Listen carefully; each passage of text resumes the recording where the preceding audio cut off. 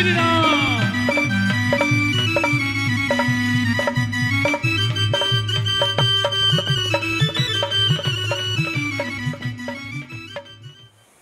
एक बार की बात भाई। एक राजा के प्रताप प्रतापी राजा था तीन लड़के थे। आपस में लड़ा झगड़ा करते। तो उन्होंने सोची भाई आगे जाके इन रा, राजकाज सब कुछ से मारना है। और ये यूँ लड़ते झगड़ते रहे तो कैसे काम चलेगा भाई? क्यों ना इनको शिक्षा दी जाए? उन्हें जो है एक आश्रम में भेज दिए। एक गुरु के पास, उन्हें समझाया समझाया, पर उनको समझ नहीं आई। वो गुरु भी जो है, साल, डेढ़ साल पाछा वापस हाथ जोड़ गया, महाराज, मेरे बस का नहीं इन तो समझाना। एक राजा भी थोड़ा प्रतापी था, ज्ञानी था। एक दिन बुला आके तीनों ने बुला के कि बेटा मेरे राज्य में ना, मेरे राज्य में जो है एक नाशपाती का पेड़ नहीं है।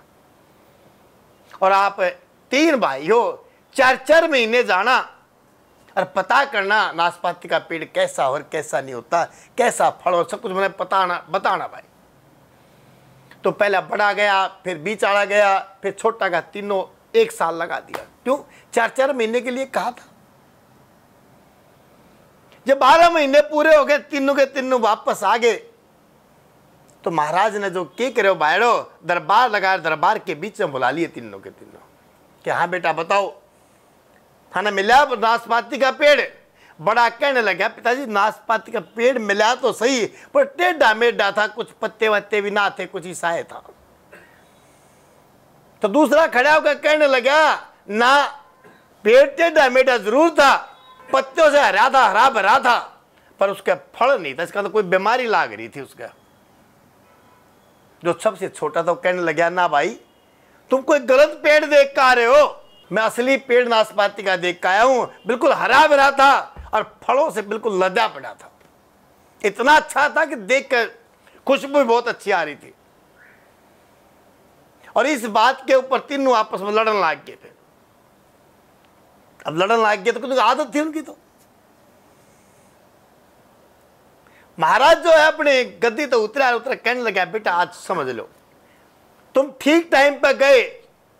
मैंने आपको रास्ता सही बताया और तुम जो बताने भी लाग रहे हो ना, जो वर्णन भी करने लाग रहे हो, वो बिल्कुल ठीक है।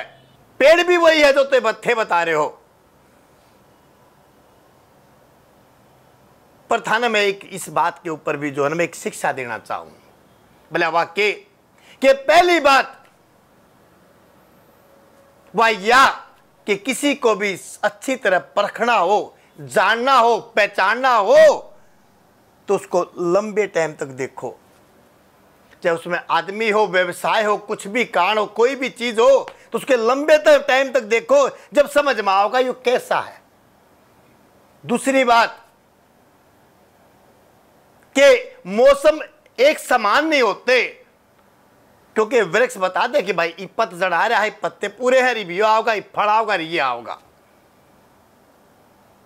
क्योंकि मैंने तुम्हारे को चार चार महीने दिए कि हर हर उसमें चार महीने में मौसम बदला। इसलिए जो तुमने वर्णन बताया, वो इसलिए अलग अलग मिला। किसी चीज़ को परखना हो तो हर मौसम में परखो उसको।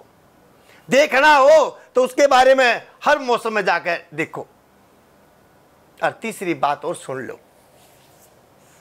वो ये, जितना तुम्हारे पास ज्ञान है कि मैं जानकारी लेकर आ रहा हूँ, और ये बिल्कुल पक्की यही है, अड़ के बैठ जाओ। नहीं, वो अड़ना ठीक नहीं है। क्योंकि इस संसार में ज्ञान बहुत है, इतना ज्ञान है कि हर एक के दिमाग में आ नहीं सकता।